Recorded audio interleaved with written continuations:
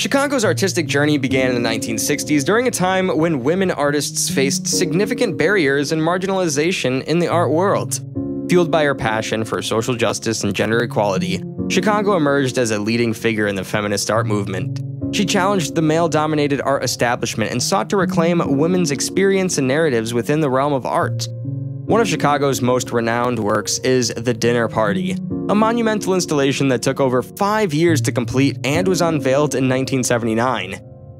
This groundbreaking artwork consists of a large triangular table with place settings for 39 historical and mythological women, including figures such as Virginia Woolf, Frida Kahlo, and Sojourner Truth. Each place setting features a unique, intricately designed ceramic plate and an embroidered runner that celebrates the achievements and contributions of the woman it represents.